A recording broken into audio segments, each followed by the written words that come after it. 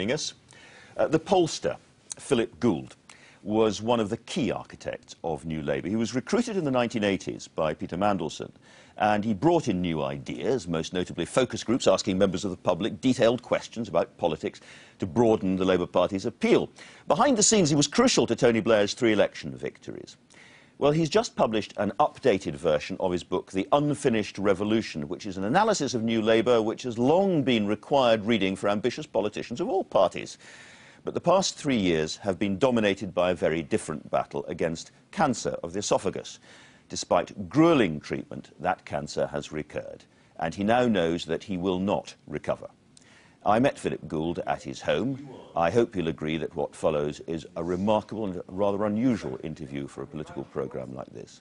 But first, I asked him about Tony Blair's leadership style. He says it was like driving down the centre of the road very fast, pushing everything else to one side. But where I asked, did they really know where they, where they wanted to go? Tony did believe that values and an explicit sense of purpose should be kept, mm. for the most part, quiet. He really did have a church and state thing on this. He really thought his private spiritual life was over here and his public uh, pragmatic life was over there. And so that meant that much of his rhetoric, much of his argument, much of his narrative was focused on the pragmatic rather than on the. Um, what's it all for? What's it all for, yes. Now, um, it is one of the big claims of my book, I think, that this was a failure. I do think that leadership depends on purpose. I think that individuals depend on purpose. I think politics depend on purpose. I think that in this world, which is so chaotic and so disordered, without purpose, you are lost. It's an essential part of leadership now. And uh, I don't think he, he did that absolutely perfectly. In your diaries, there's the accounts of the, the arguments, the now famous endless arguments yeah. between Gordon Brown and, and Tony Blair, um, go on and on and on and uh, were clearly so destructive of energy and purpose and so on. Yes. Was that just an inevitable clash of two very, very different personalities, two different worldviews that was never going to be harmoniously reconciled? I think that what happened there was this, that Gordon did believe uh, that he would come to be leader of the Labour Party and that the, the supporters around him, I suppose, believed that even more. They were so close, so close working together. You know, you'd go into their office and, you know, you'd, you'd be met by a kind of, sort of kind of a, a, a wall of energy. Yeah. You know, piling towards you, and they'd both be on their kind of computers. They'd both be there'd be papers everywhere, bits of sock, bits of this everywhere. It was a completely chaotic mm. sense, but a sense of huge, huge energy and Tony and Gordon were just remarkable in those, mm. those days. It was, it was incredible. And, and they were close, too. Um, increasingly close, I think. Um, and so they were almost one person. Certainly felt like brothers to me. And yet, there would be only one person. And as it went on, increasingly it was going to be Tony. I knew it would be Tony. Others knew it would be Tony. But it's hard to tell Gordon because you know, he, he, he is, on the one hand, a very tough individual, but a very vulnerable indi individual too. It just was too much for him. And it grew from there. Can we turn to talk about your cancer? Yeah. And how that, um, in many ways, meshes with the, the politics that you've been describing? um, because you had, um, you've had three major recurrences. But right at the beginning, um, you chose to go private in, uh, in America. And I think later on you came to think that actually the NHS might have been a better choice. Yes. That's so. I talked to a lot of people in the NHS and they, they said, well, look, you know, if the best place to go is um, Murray Brennan at Sloan Kettering. In New York? Yes and the, the, the, level of quality was good.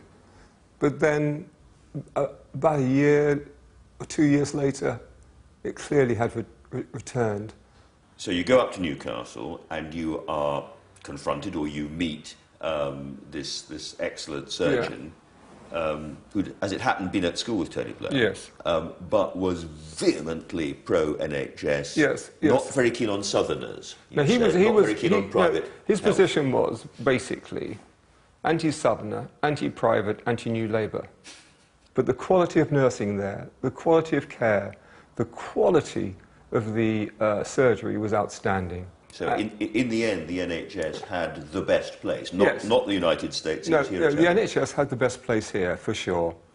And so where are you now in terms of... Now, the where, where we are now is this, that we went on holiday with, with Gail.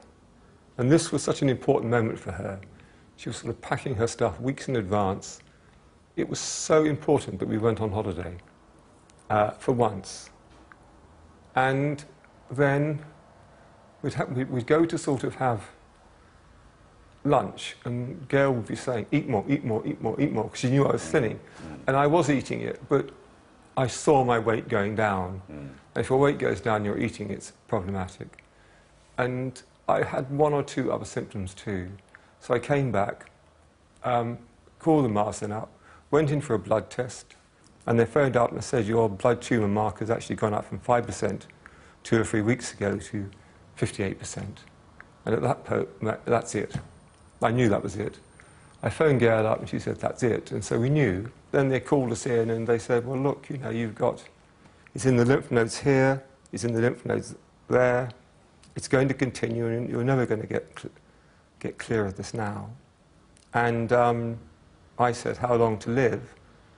And uh, Dr. Cumming, I'm sorry, Professor Cunningham said, three months. And then Gail said, the worst case was three months. And, and Gail said, what's the best case? And he said, three months. This time, it was clear.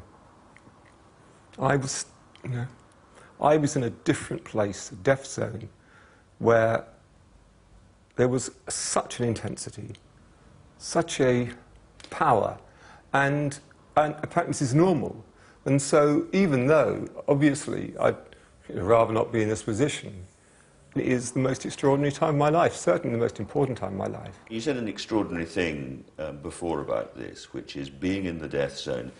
You're, you would not have chosen this, but you wouldn't want to walk away from No, it. And no. you wouldn't have wanted to die as the person that you were before the recurrence of cancer. No, that, that was certainly true in the. Uh, it's certainly true that after the first recurrence, I would not wish to have died the person I was.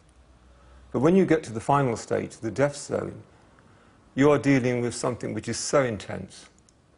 I mean, I look out of the window and I feel the intensity, the intensity of my wife, the intensity of my family, that it is the, the natural place to be.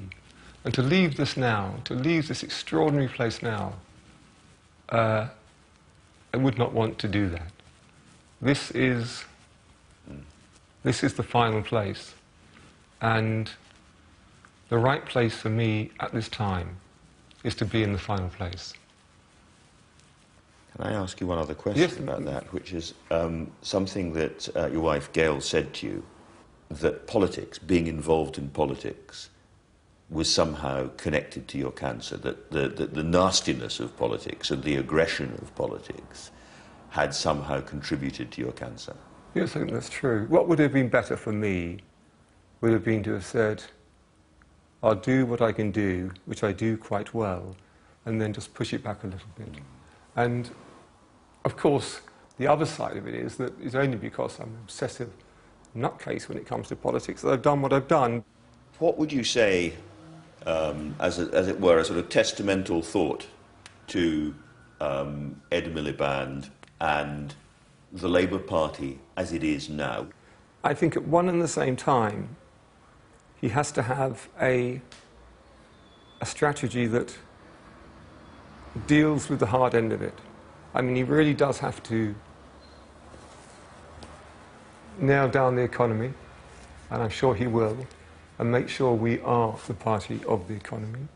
He has to nail down responsibility and make us the party of the, responsi- of, of, of the responsible electorate. And I think he has to uh, be tough in the way that he deals with some of these issues.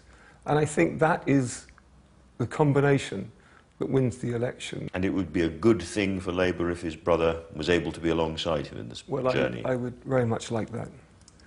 And I think what better epitaph for the whole book really is a book that starts with the angularity and the difficulty with the relationship between two almost brothers, ending in, I hope, friendship between two real brothers.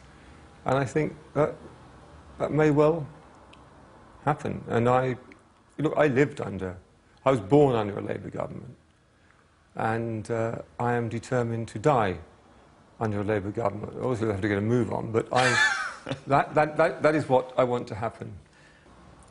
But I suppose my message is have faith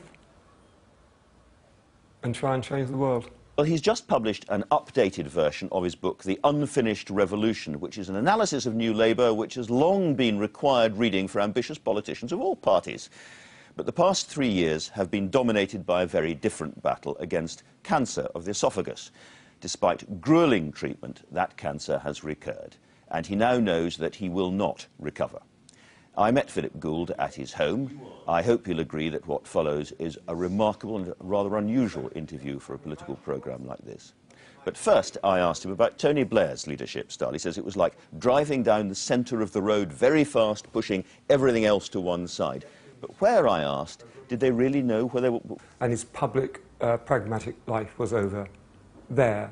And so that meant that much of his rhetoric, much of his argument, much of his narrative was focused on the pragmatic rather than on the.